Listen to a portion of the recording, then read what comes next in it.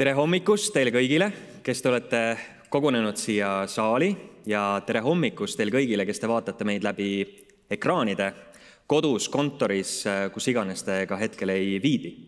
tere tulemast reaalmajanduse, reaalaja majanduse konverentsile. see on väga hea viga, mis ma praegu tegin, ma hiljem räägin sellest täpsemalt mul on väga hea meel, et teid on täna siia saali nii palju kogunenud, sellepärast et täiesti liialdamata võib öelda, et see on üks selle aasta kõige olulisemaid kokkusaamisi, kus on kohal nii avaliku sektori kui ka erasektori esindajad.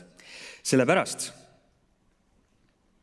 et me räägime nii põhjapaneval teemal, nagu seda on majanduse tulevik ja see ei ole lihtsalt sõnakõlks, sellepärast et paljude ekspertide sõnul me oleme viimastel aastatel kogetud kriiside läbi näinud väga selgelt, et vanad äritegemise loogikad enam ei toimi, need on liiga aeglased, liiga tülikad, kurnavad, me lihtsalt raiskame oma aega mõttetute asjade peale ja kulutame seejuures ka palju raha.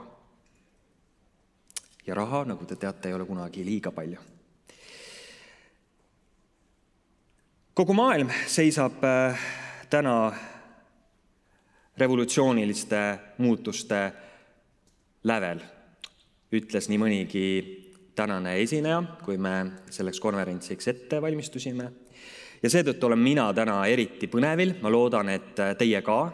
ma ise olen õppinud juba väga palju ja ma arvan, et paljud asjad saavad kohe palju selgemaks. nii et pole mõtet rohkem aega raisata, ma kutsun siia lavale tänase esimese kõneleja, kelleks on Majandus- ja Kommunikatsiooniministeeriumi asekantsler Sandra Särav, palun